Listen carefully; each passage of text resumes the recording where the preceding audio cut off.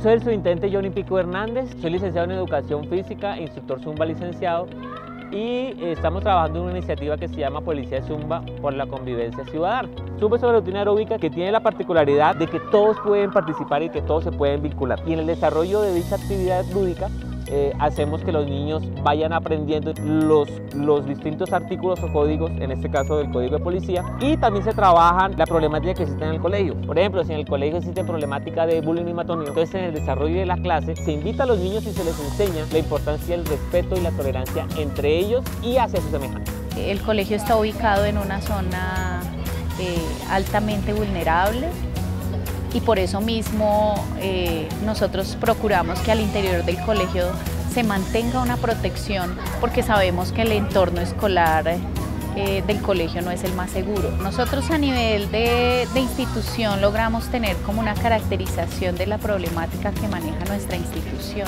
Manejamos mucho el tema de buen trato, tenemos incluso a nivel de colegio el Día del Buen Trato, y manejamos todo este tema que eh, viene relacionado con el baile y eh, el lograr disminuir un poco esas situaciones de violencia. Lo importante es dejar de ser docentes de cierta manera y empezar a ser niños. La rutina aeróbica Zumba permite que independientemente de la edad que esté participando en la rutina, todos se diviertan y todos compartan. Si nosotros combinamos ese tipo de actividades lúdicas con mensajes puntuales donde queremos que el niño empiece a trabajar en valores tan importantes como el compromiso, como el respeto, como la tolerancia, hace que los niños, más que aprenderlo, lo pongan en práctica en el mismo momento.